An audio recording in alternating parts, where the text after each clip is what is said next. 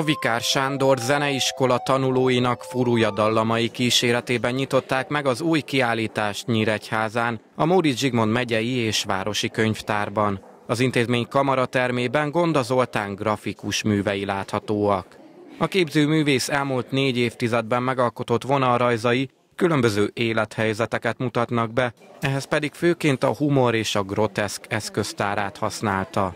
Festőművész vagyok, a grafikát azt mellékterméként hozom létre, de ugyanolyan intenzitással csinálom, és szeretem csinálni.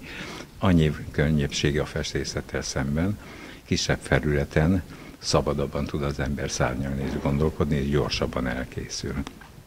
De mond, elsősorban én nagyobb méretű festményeket készítek, a grafikánál pedig már sok-sok éve csinálom, és legtöbb esetben a humor az, ami megfog, vagy a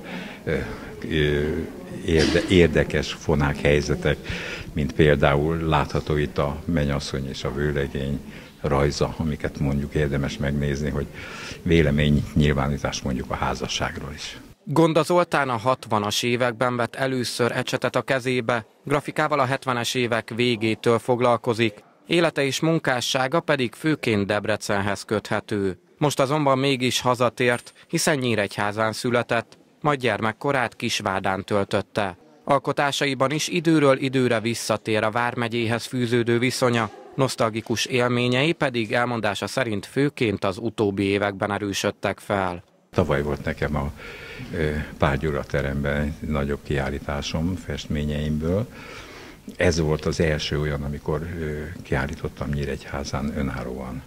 Sokszor vágytam már rá, mert a szülővárosom, ami azt jelenti, hogy születési helyem, de körülbelül három-négy hónapos koromig éltem itt, de a háború miatt elköltöztünk Kisvárdára, és az utóbbi évtizedekben inkább csak mint átutazó város jelentkezett nálam.